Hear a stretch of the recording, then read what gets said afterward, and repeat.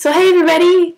The topic that I chose for this week is what to expect on R&R. One of the things that should be expected before, during, and after R&R is first of all that it's going to be a roller coaster.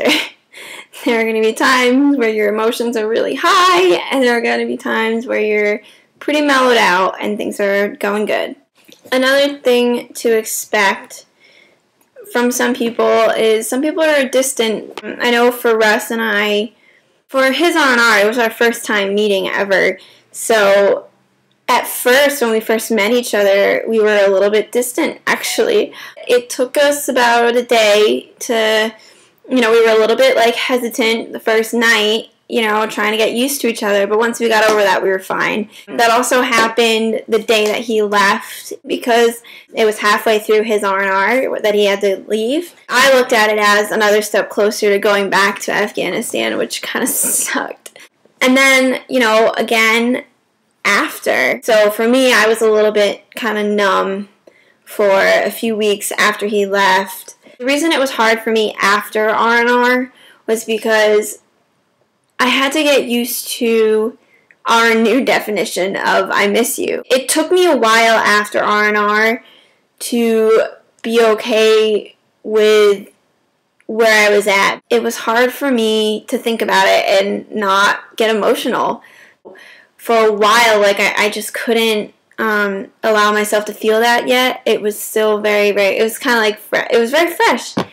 I feel like that happens with a lot of people. Is you know a lot of people say that R and R is just such a tease. Um, another thing to also look out for that's going to happen is sleeping is going to be a little bit diff- different. I know with Russ when he came back, the first three nights or so he was barely sleeping. He was only sleeping like a couple hours, and but he was still functioning throughout throughout the day, and he was almost sleeping a little bit less than when he was over in Afghanistan.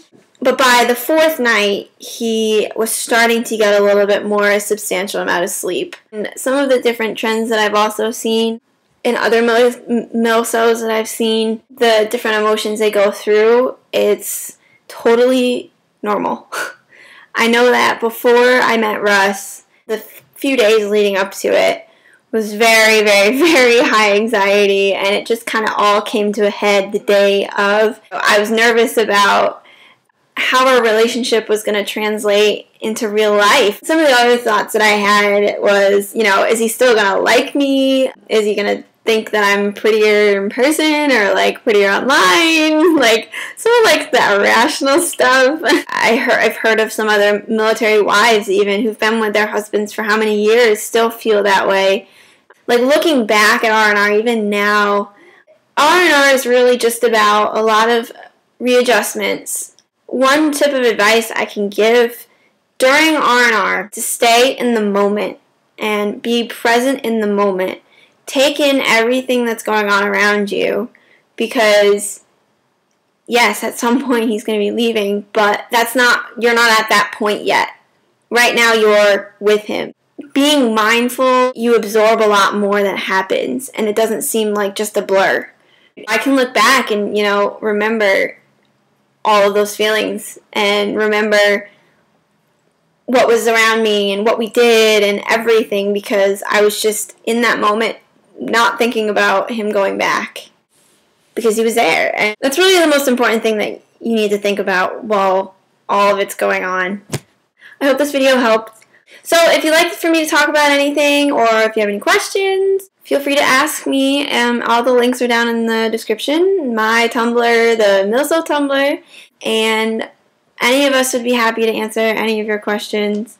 I'm a very, very open person if you haven't noticed. I'd like to hear your perspective on how R&R went for you, if you've gone through it, or let me know what's going on. all right, I will see you all next week, and I hope you have a great week. Bye, everybody.